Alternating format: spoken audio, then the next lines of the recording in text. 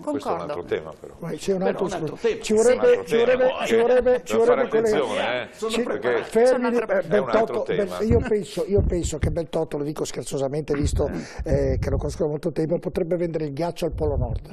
Perché ce la vende talmente bene, è vero o no, che in, in, no, e non si può nemmeno fare un'osservazione. Sto scherzando, esatto. Eh. No, Vabbè, abbiamo, questo... allora, prima eh, vado da Elisabetta e se novità dal web. Elisabetta, che questa sera tra messaggi che non ho letto, telefonate Sembra che non ho passato. Che proprio, questa, proprio la prossima settimana ricomincino i, eh, gli spettacoli dal vivo eh, in America, in modo particolare un locale dell'Arkansas, quindi di uno stato americano appunto, ospiterà eh, uno dei primi concerti definiti socialmente distanziati e questo il 18 maggio. Cosa vuol dire socialmente distanziati, Elisabetta? C'è un... un... Mm, saranno effettuati controlli di temperatura alla porta, i posti a sedere saranno allontanati e saranno implementati decine di nuove norme e regolamenti per proteggere appunto i fruitori. Però si può avere la proporzione quanti eh, eh, spettatori c'erano prima e quanti ce ne sono oggi dopo tutti questi protocolli?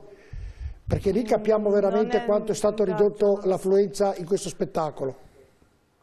Non si sa Giorgio. Non, non... si sa. Vabbè, abbiamo collegato Filippo Vigato, l'architetto, che eh, eh, segue un progetto per il teatro adatto a ospitare eventi in linea con le normative del eh, coronavirus, è quello che praticamente aveva accennato prima eh, la Valeria Getò. Buonasera Vigato, buonasera, mi scusi, eh, la ringrazio per prima cosa e poi le chiedo scusa per il eh, ritardo di questa telefonata. Allora, ci può spiegare questo progetto?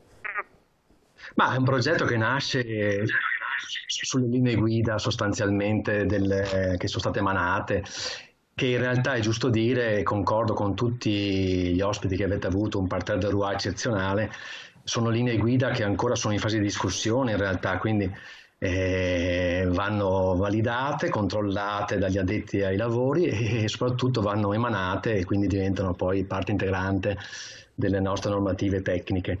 È che io parlo da tecnico sostanzialmente, quindi non entro nei meandri della vendita piuttosto ne, de, dell'opportunità politica di fare alcune scelte. Ecco, noto che le linee guida danno delle, dei vincoli che sono incredibili, nel senso bene perché la ripartenza è ottima, eh, ci aspettavamo di ripartire tutti a settembre almeno, invece sembra che l'estate in qualche modo sia garantita. Male perché effettivamente le capienze che eh. sono previste sono capienze ridicole. Allora il problema qual è? Il problema è trovare una soluzione tecnica che eh, interpreti le norme che sono messe sul tavolo. E io farei un distinguo, eh, sostanzialmente direi che i, tavoli tecnici aperti, ce ne sono molti di aperti, Anica, Agis, eh, Assumusica, devono interagire in questi, in questi, giorni per riuscire in qualche modo a gestire al meglio e opportunamente queste linee guida che a tutti sembrano insomma, fuori luogo. Dall'altro eh, il compito no, nostro, dei, nostri, dei tecnici è quello di dire sulla base di queste regole troviamo la soluzione migliore. Allora, la soluzione migliore si trova sostanzialmente anche interpretando la norma, che non è semplice, perché ad esempio facevo notare ai colleghi che il distanziamento sociale di un metro, ecco come si misura. Va dalla sorgente emittente bocca a bocca oppure si misura a distanza braccio a braccio o mano a mano?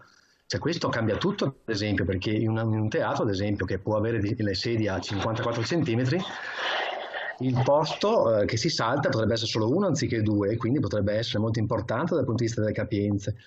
Quindi ecco, eh, per noi tecnici è importante avere ecco, cognizione precisa di cosa si intende per, norma, per le norme state individuate e occorre anche effettivamente comprendere che eh, io un po' mi schiero con quello che pensa lei, dottor Borile, e ehm, alla fine la, la partenza è sempre una buona cosa. Ecco, partiamo sostanzialmente adesso con mille posti all'aperto, che sono pochi, mi rendo conto, ma per alcune tipologie di spettacolo possono essere una, una capienza importante, penso ad esempio al cinema all'aperto, ecco, per prepararci alla fase 2. E concordo con chi ha detto che la fase 2 non è adesso, la fase 2 sarà più avanti, questa è la fase 1 bis, peraltro una fase che neppure adesso è certa perché ad oggi nessuno sa quando partirà effettivamente, si parla dei primi di giugno con il Festival di Ravenna, ecco. eh, teatrale. Ma l'abbiamo mm, detto. Chi può dircelo? L'abbiamo detto. L'abbiamo detto, bravo architetto. No, no, no, Festival di Ravenna, insomma, questo, è, infatti, questo è quello che doveva aprire. Non è un segreto, insomma, è in, è in cartellone, per cui insomma non è un segreto. E quindi eh, sì, da questo punto di vista ecco, mi, mi eh. aspetto che arrivino delle norme chiare. E poi notavo, diceva prima eh, Piparo giustamente, ci vuole lucidità e la lucidità manca in questi momenti di paura. Penso alle fasi post incidenti di Torino, ecco, hanno portato nelle piazze italiane a una, una militarizzazione del, degli, degli, spazi, chiusure, eh, transennature, contapersone. Ecco anche in realtà che effettivamente non avevamo bisogno oggettivamente. Ora, qui il problema è diverso, nel senso è un problema sanitario che va gestito e va gestito con un protocollo che a oggi non c'è. Ma lei ha un progetto, Vigato? Lei ha un progetto... Noi stiamo cercando di farlo. Scusi? No, lei ha un progetto eh, eh proprio anti-Covid e anti-coronavirus, come sì, lo vuole definire meglio? Farlo, noi stiamo facendo un progetto anti-Covid che secondo, secondo noi mh, mm, può funzionare, nel senso che prevede Mi un esempio, Mi faccia un esempio sì, dei no, progetti che ha. Sì, sì, è questa. È molto semplice in realtà. L'accesso, c'è una sanificazione complessiva della persona eh, che passa attraverso una, un tunnel di sanificazione sostanzialmente o da un processo di sanificazione e entra eh, nella parte del teatro, il teatro appunto viene, viene, viene mh, allocato nel suo posto attraverso gli ingressi dedicati, per cui ogni settore ha un suo ingresso, senza fare settore un ingresso comune e la distribuzione dei posti è fatta preventivamente con la vendita appunto telematica dei biglietti. Il distanziamento sociale viene garantito e secondo noi verrebbe garantito non tanto con distanziamento di un metro posto posto, ma quanto con gruppi omogenei, nel senso una famiglia che è già convivente non ha senso dividerla, ecco andrebbe messa in continuità nei posti e, e, su questo ad esempio la norma oggi non dice nulla. Mi faccia, eh, eh, di... nel suo studio, nel suo preparare questo, semplifichiamo il fatto in modo sì. che i nostri telespettatori capiscano. Allora, il Gran Teatro Geox ha una capienza di 2008, 2009, 2007.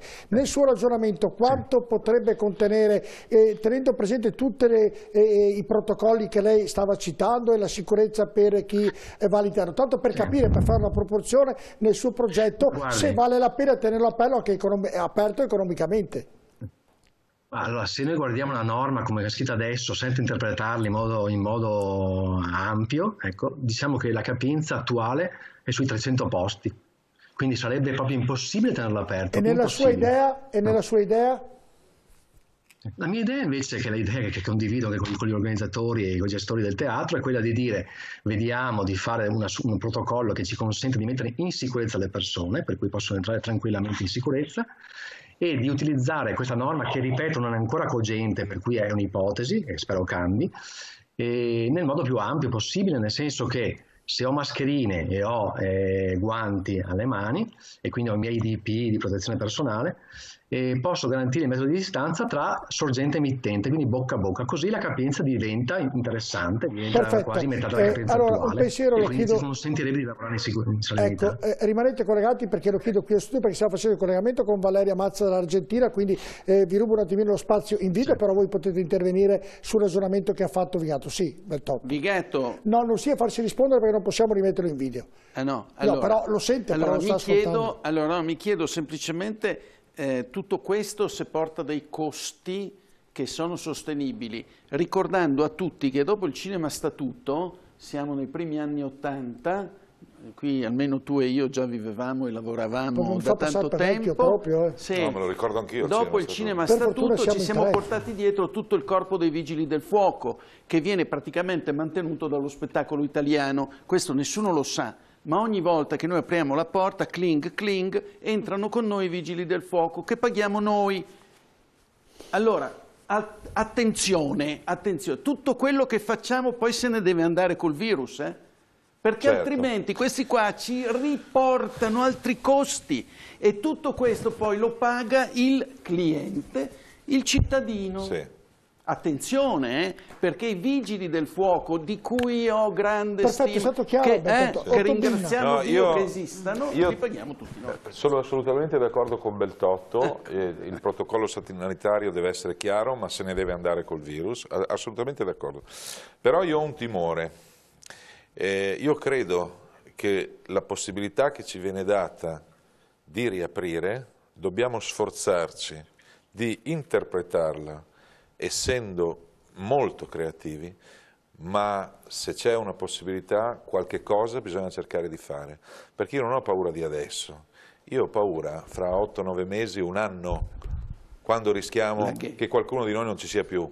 Vabbè, abbiamo collegato, okay. Eh, eh, lei la conoscerà Valeria Mazza, vero? Sì, certo, la conosciamo. No, no, ho detto lei, la, era, era, provocatoria la mia domanda, era perché è un personaggio importante, ha condotto Chi Sanremo con Pippo Baudo. No, no, ma magari molto probabilmente eh, stavo scherzando. Eccola qui collegata, guarda, una bella donna come ah, sempre. Evviva. Buonasera, buonasera, ah. buonanotte, meglio non so che ore sono, che ore sono eh, in questo momento in Argentina. No, ci sono le 7.30, 6.30, sono 5 ore di eh, la, eh, C'è un po' di rimbombo, però l'abbiamo svegliata prestissimo, grazie ovviamente anche a Valeria Mazza. Eh, come sta vivendo in questo momento l'Argentina, questo coronavirus? C'è anche lì, è molto meno impegnativo che, eh, che da noi, che in America. Com'è la situazione in Argentina per quanto riguarda questo virus, Valeria Mazza? Sì, bene, noi abbiamo credo che imparato da quello che, che, è successo in Italia e anche in Spagna, quindi qua si è chiuso subito tutto, siamo entrati in quarantena, de, hanno proibito assolutamente tutto da metà di marzo già, quando c'erano appena pochissimi eh, positivi, diciamo, no? casi positivi quindi lo stanno mantenendo, però siamo già 50 lunghi giorni a casa. E quindi sono fermi anche gli spettacoli, insomma? In, in questo momento sono circa 6.000 persone positivi, diciamo, che si sanno, no? De, e, e circa 300 morti. Lo spettacolo chiuso qua e in questo momento, dopo già quasi sì, più due mesi a casa, la, si stanno facendo sentire tanto la gente dello spettacolo perché non ce la fa più, perché senza lavoro, eh, sai, il, non, non, si vede il, il, il futuro, no? E, c'è un dubbio su quello che, su che cosa succederà. Ecco, e Valeria Mazza come sta vivendo questo momento? Guarda, io eh, per fortuna noi siamo arrivati un giorno prima che hanno chiuso le frontiere, quindi sono felice che abbiamo potuto eh, arrivare a casa e siamo qui con i miei quattro figli. E, um, sto bene, tranquilla, serena. Um, all'inizio credo che come tutti ho approfittato per ordinare, pulire, cucinare, tutto quello che normalmente uno ha meno tempo da fare adesso a casa, ho fatto tutto di più. E adesso da questa settimana che mm, ho cominciato per divertirmi e per portare anche un po' di allegria a altre case, ho cominciato con uno show nel nel mio eh, Instagram su Valeria in Vivo, quindi mi diverto e condivido un po' con la gente che è a casa e che, sta, che non ce la fa più di guardare il telegiornale e sentire le notizie che sono sempre uguali. Eh, mi sembra che anche Valeria viva la nostra situazione. Eh, eh le due Valerie, Valeria vuoi fare qualche domanda? Ovviamente visto che la conosci molto bene a Valeria Mazza. Eh, Valeria, grazie di essere qui con noi questa sera a raccontare anche la tua avventura. C'è un motivo particolare per cui questa sera io, abbiamo fatto questo incontro. Prima ancora del coronavirus, proprio eravamo nei giorni prima, noi stavamo pensando, guarda, facciamo qualcosa insieme, facciamo un bellissimo evento, perché come sai lei stata, è stata anche donna eccellente, è stata premiata in Italia, lei è, è amatissima, ha una famiglia italiana. E quindi la eccola, ecco la fotografia, stiamo vedendo un filmato eh, con, a Sanremo con Pippo Baudo, stiamo vedendo proprio le immagini. Prego Valeria. E quindi stavamo pensando, prima che ci fosse questo lockdown, di fare qualcosa insieme, magari dedicato alle donne. Adesso io Penso che possiamo rilanciare il nostro impegno e pensare di fare qualcosa legato alle donne quando ci sarà il momento giusto, ma soprattutto ritorno alla vita. Ritorno alla vita con un live, con un evento stupendo che ci unirà. Mi, sembra, mi, sembra, che Valeria Mazza sia la persona ideale per tutto questo, eh, Valeria Argentoni, le due Valerie per non fare, eh, per non fare confusione, quindi è un personaggio. Bentotto lo sta guardando con un occhio molto interessato. Beh, insomma, se uno non guarda con un occhio interessato Valeria Mazza è strano assai. Eh? Sì, no, no, Cara vero, signora, ci manca molto, signora, ci manca molto, torni presto. Il suo grazie, sorriso. Grazie, guarda, io sapete che amo Italia, gli italiani, quindi appena aprono le frontiere io ci sarò in, in Italia e ovviamente che the show must go on e per tutta la gente che lavora nel mondo dello spettacolo non solo quella di avanti dalle telecamere, ma anche no, dietro, ci sono tantissime famiglie, eh, ma anche per la gente che ha bisogno dello spettacolo, no? ha bisogno di, di andare allo, di, allo, show, di, no? di, di divertirsi, intrattenersi. Quindi eh, dobbiamo trovare la maniera di eh, che lo spettacolo continui. Senta, le piacerebbe ripresentare Sanremo? Mm, felicissima, domani vado. È stata una bella esperienza. Vengo domani a farlo. Ma è vero che nel scendere quelle scale, nel partecipare, essere presente all'organizzazione, alla presentazione di questo evento, eh, tremano un po' le gambe, c'è un'adrenalina incredibile. Incredibile, incredibile. Guarda, io credo che ho fatto Sanremo perché sono stata molto incosciente. Perché se avrei saputo veramente dove stavo andando, avrei avuto però un dubbio almeno. Però quando Pippo Baudo mi ha detto che ha pensato a me e lui era talmente sicuro che io dovevo fare Sanremo che io sono andata con gli occhi chiusi e veramente è uno spettacolo che ti, fa, ti porta l'adrenalina all'infinito, ehm, però è molto emozionante, cioè, è bellissimo, bellissimo. Io tornerei domani a farlo, mi, mi, ta- tanto, mi piacerebbe tantissimo. Valeria Mazza è tanto che non sente Pippo Baudo. È da un po', sì, ci siamo rivisti dopo, ovviamente, però adesso sì, da un po' che non lo sento. Ortobina voleva fare una domanda, vedo anche lei che la, la sta... No, sono contento di vedere questo, questo bel sorriso che abbiamo visto in televisione anni fa, che ci è molto familiare e speriamo di rivederla presto in Italia. Grazie. Vabbè, Valeria volevi aggiungere Grazie. qualcosa? Un altro personaggio a cui sempre ricordo con molto affetto è a Fabrizio Frizzi, che abbiamo lavorato un paio di anni insieme e, e ci sarà sempre nel nostro cuore. Cioè, eh, eh ovviamente anche noi eh, nel ricordarlo ovviamente eh, eh ci fanno, ci fanno eh, passare dei periodi con lui straordinari, purtroppo gli eventi della vita ha fatto anche questo e quindi è davvero un peccato che certe, vabbè, ma succede, quindi è un peccato che certe persone ci lasciano. Va bene, grazie Valeria Mazza, buona giornata a lei, a noi e buonanotte, a lei buona giornata. Arrivederci. Grazie, Ciao. buonanotte. Arrivederci. Arrivederci. Grazie per questo collegamento e vi mando, guarda, vi saluto con tutto il mio cuore. Gra grazie, simpaticissima, grazie Valeria Mazza, grazie. Eh, ritorno da Bay perché sono rimasto una domanda eh, che volevo fargli. Eh, ovviamente come Ticketmaster vende biglietti in tutta Europa. Com'è la situazione in Europa appunto sulla eh, vendita dei biglietti, dei vari concerti? Sono tutti sospesi, rinviati? Com'è la situazione Bay? Che, che, sia in Italia, eh, molti stati eh, in realtà eh, hanno quasi subito annunciato che, le, che gli eventi estivi non, avrebbero, uh, non sarebbero uh, successi sostanzialmente. Questo ha aiutato l'industria a guardare all'orizzonte giusto, a ripensare uh, non al domani ma un, al dopodomani sul come prepararsi. Ticketmaster a livello mondiale vende mezzo miliardo di biglietti all'anno, 500 milioni di biglietti, sostanzialmente i mercati sono fermi. questo è un, un dato generale di ma eh, beh, di, di, quei 500 milioni di biglietti venduti, quanti eh, sono rimasti sospesi per via di concerti o rinviati o annullati? Un grandissimo numero, difficile fare un numero preciso, molto alto.